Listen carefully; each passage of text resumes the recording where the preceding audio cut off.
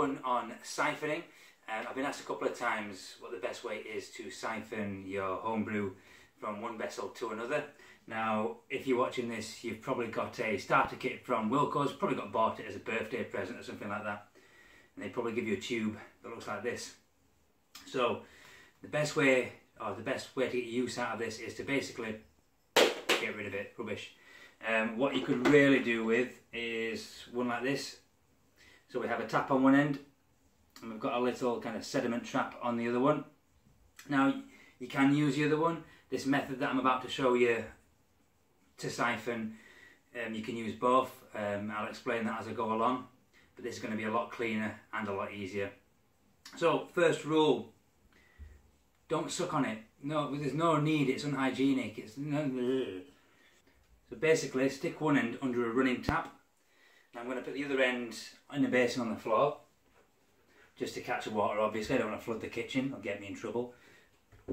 So I put the end in the basin, other end under a running tap, and the idea is I want to fill this with water and make sure there's as little air in as possible. So you want a clean flow of water through the pipe, and I'm just going to stop the tap, this tap, while it's filled with water, and that will hold the water in the pipe. You'll see.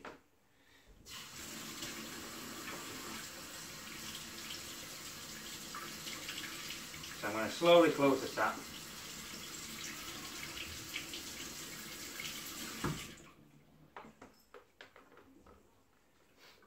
And I don't know if you can see, that's now filled with water. You can see a little bubbles in there. And because I've closed the tap, the water can't get out. So just to give you an example, here's a, a glass of water. I'm going to stick that in there. I'm going to open the tap. Now what you need to do is very important. Make sure the tap or the open end, and if you wasn't using a tube with a tap on, instead of opening and closing this tap to hold the water in, you just cover it with your thumb. So you have your thumb on the end there. I'm going to open this tap now, but you need to make sure that it's lower than this end of the tube because the gravity is going to pull the water through. So watch and see. So I'm going to open the tap now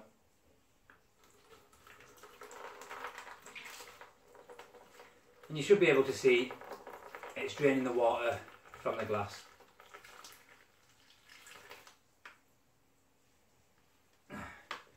So obviously what I'm going to do now is put this end into one of my demijohns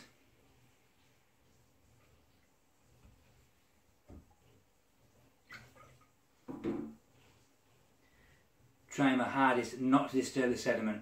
Now what I do normally do is just have a tea towel ready.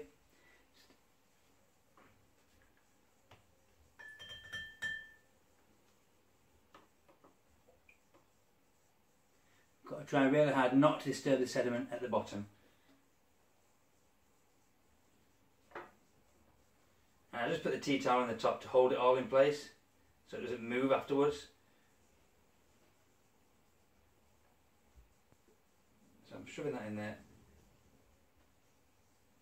Go, and then just push that down just till it gets to the bottom. There we go. And the tea towel should hold that in place. I don't know how well you can see the tube, but when I open the tap at the bottom now, obviously it's going to pull the water through, which in turn is going to pull the wine through. So hopefully you'll be able to see that coming through now. There we go, and that's now wine. Simple as that. All you do now, get your bottle, put it on the other end, turn the tap. Bladders, doesn't matter. So there you go, simple as that and a lot more hygienic. If you've got any questions, if you need any help, give us a comment, give us a like anyway while you're there. That'll do. See you next time you